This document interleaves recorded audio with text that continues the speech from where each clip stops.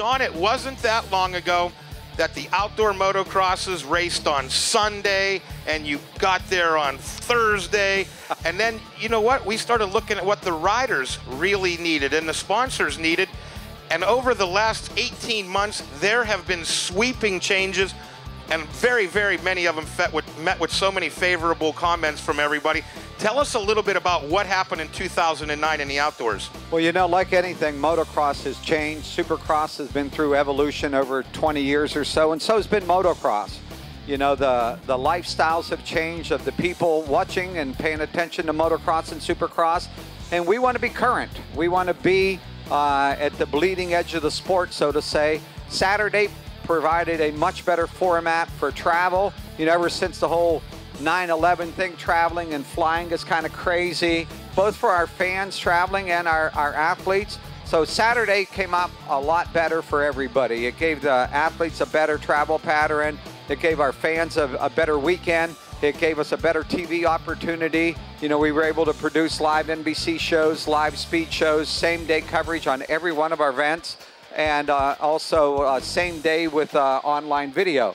So it was a, a big step for us, and the move to Saturday just really opened the door to all of that was a great season in 2009, but 2010 upon us.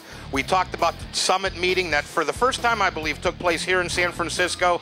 You got all the promoters together. Everyone got a chance to sit down since the series wrapped in uh, Steel City last year.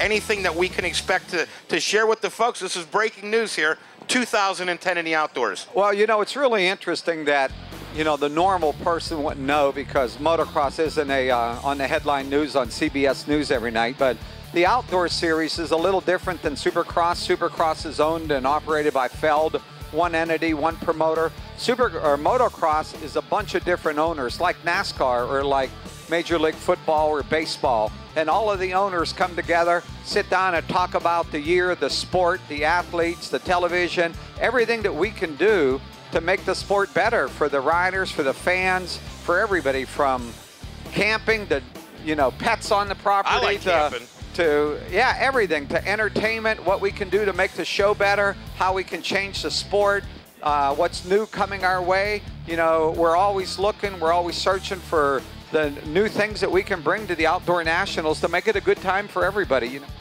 2010 is going to be exciting. Chad Reed wrapped up the title. Ryan Dungey, who was the then and I like this. They changed the name to the 250 class, and they're 250s and 450s. That was last year.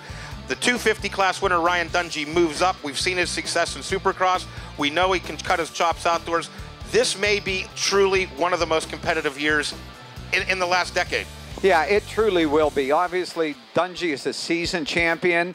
He knows how to hang in there all the way to the end and get a championship, as does Villopoto, as does Chad Reed, as does Stewart. Uh, it's going to be a remarkable year, and I think uh, with with the racing that's going to be, with the changes that the fans are going to see at the racetrack, and all of the things coming together, it's going to be a great year for outdoor motocross. There's no doubt.